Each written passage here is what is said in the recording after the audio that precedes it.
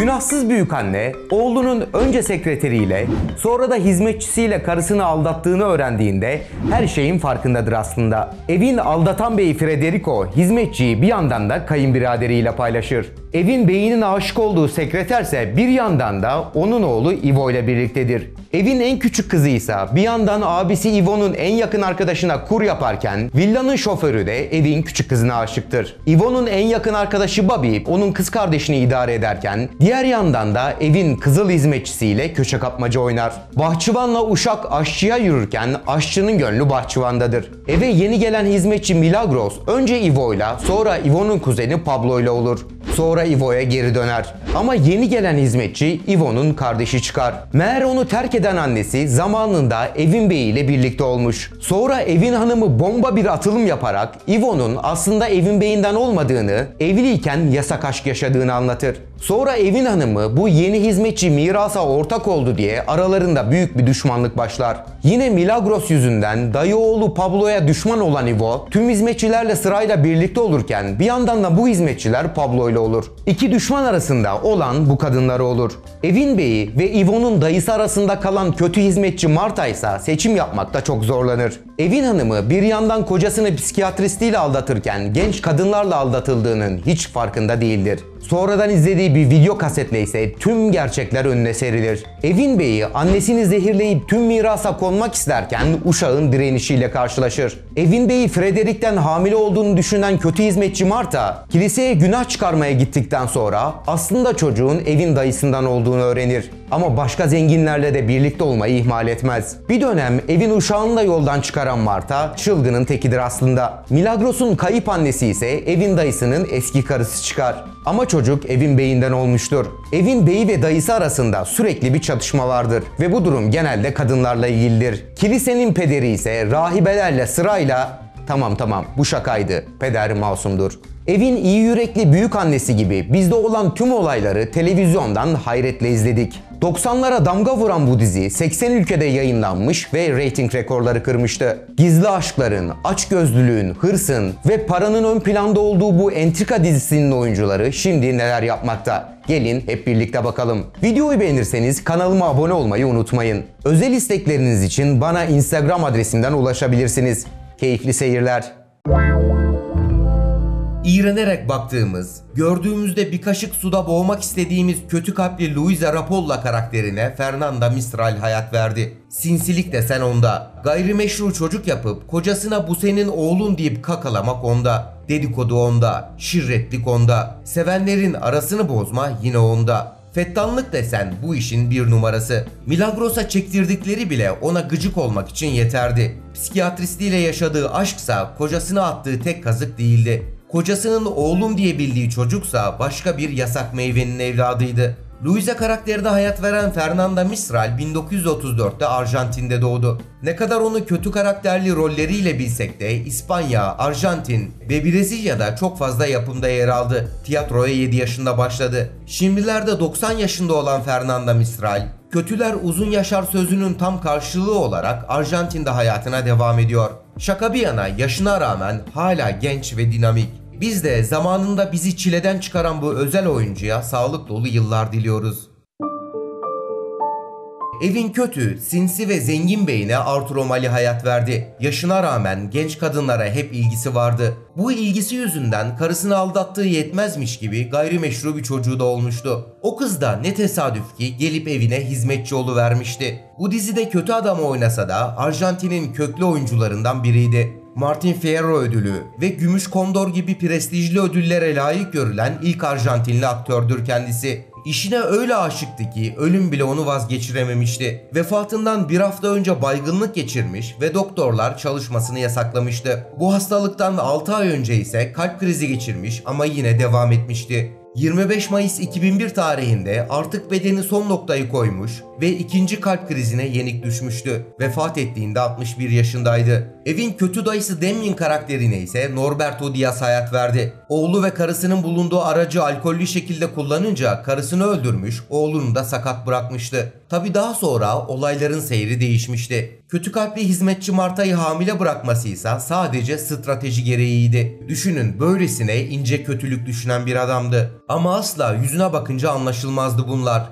Çünkü her zaman gülücükler saçardı. Mağduru oynayan iblis olarak en tehlikeli olandı. Norberto Diaz gerçek hayatta ise dünya iyisi bir adamdı. Alejandro ile olan aşkı ömrünün sonuna kadar devam etti. Dizilerde hep kötü adam oynasa da kızı Manuela için dünyanın en tatlı babasıydı. Hatta ölümü bile kızını eğlendirmek ve mutlu etmek için götürdüğü kır evinde gerçekleşmişti. Kızı için doğada koşturduktan sonra dinlenmek için biraz uzanmak istemişti. İşte o sırada uyku esnasında kalp krizi geçirerek vefat etti. 2010 yılında hayatını kaybettiğinde 58 yaşındaydı. Evin küçük kızı Vicky ise sinir bozucu ergen halleriyle diziye heyecan katmıştı. Gerçek hayatı da dizideki kadar heyecanlıydı. Kocası Silvestre'yi uzun süredir gizli aşk yaşadığı Daniel Scully ile anlatmıştı.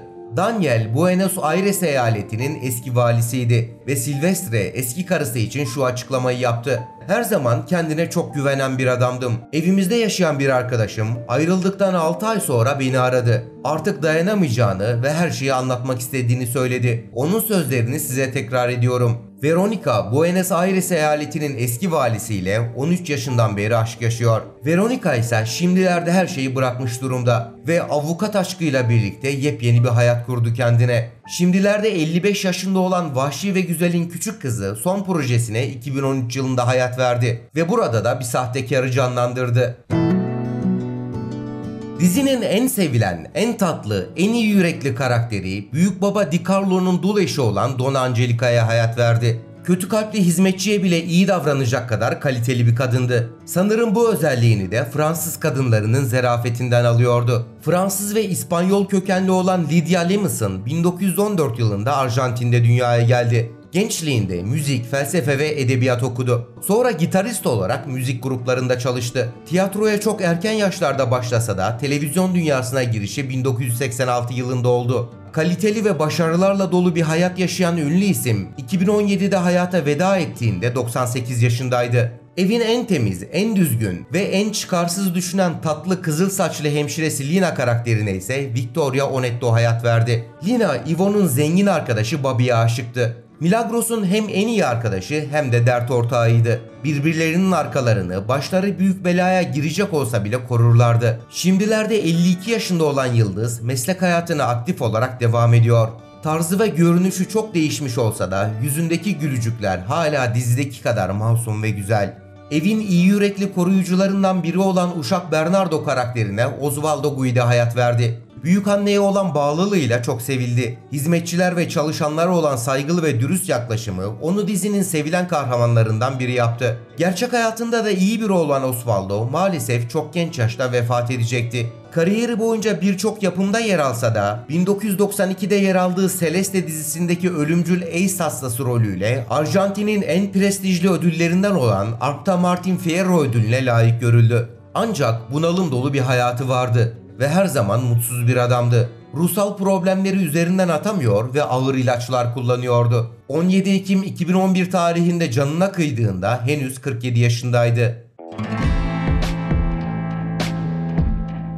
Evin kötü kalpli, azıcık maymun iştahlı hizmetçisi Marta karakterine Valeria Lorca hayat verdi. Milagros'a düşmanlık etmekte üzerine yoktu. Bir gece evin beyiyle birlikte olurken diğer gece evin dayısının yatağında bulurdu kendini. Zengin gördüğümü dayanamazdı. Hatta öyle ki zorda kaldığı dönemlerde evin uşağı Bernardo'ya yürümüşlüğü bile vardı. Dedikodu yapmakta, sinsi planlar yapmakta ve ortalığı aleve vermekte üzerine yoktu. Özel hayatı ise dizinin aksine tek bir adamla geçti. 55 yaşında olan Yıldız 2004 yılında Oscar Ferry ile evlendi. Bu evlilikten bir çocuğu oldu. Sinema kariyerine aktif olarak devam eden Yıldız, pembe dizilerin vazgeçilmez isimlerinden biri. O kaşlar neydi öyle deyince aklımıza gelen ilk isimlerden biriydi Gabriella Sari. Güzel yüzünün üzerine sanki yapıştırılmış gibi duran kaşlarıyla dizinin en sempatik isimlerinden biriydi. Ayrıca Milagros'un Manastır'da birlikte yaşadığı yetim arkadaşlarındandı. Sinema ve televizyon kariyerine hala devam eden Gabriella Sari şimdilerde 46 yaşında. Tabi kaşları da eskiye oranla biraz azalmış görünüyor.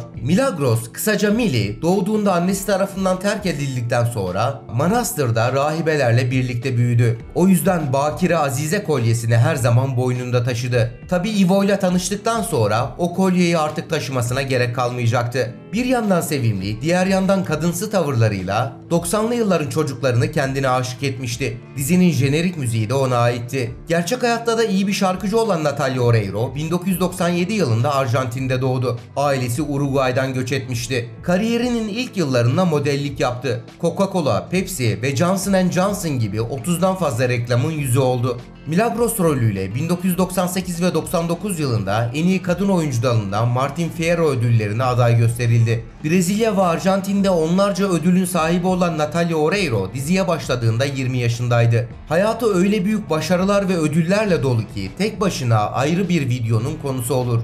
Evli ve bir çocuk annesi olan Natalie şimdilerde 47 yaşında. Yaptığı estetikler ve zamanın etkisiyle eski doğallığını kaybetmiş olsa da hala güzel ve enerji dolu. Ivo karakterini oynayan Facundo Arana ise evin şımarık, zengin ve çapkın delikanlısıydı. Onu olgunlaştıran asıl olaysa gayrimeşru bir çocuk olduğunu öğrenmesiydi. Gerçek hayatı ise dizinin tam aksiydi. 2007'den beri birlikte olduğu Mariana Susini'den 3 çocuğu oldu. Şimdilerde saçları beyazlaşmış, biraz da seyrelmiş olsa da hala yakışıklı. 52 yaşındaki Arjantinli oyuncu kariyerine son sürat devam ediyor.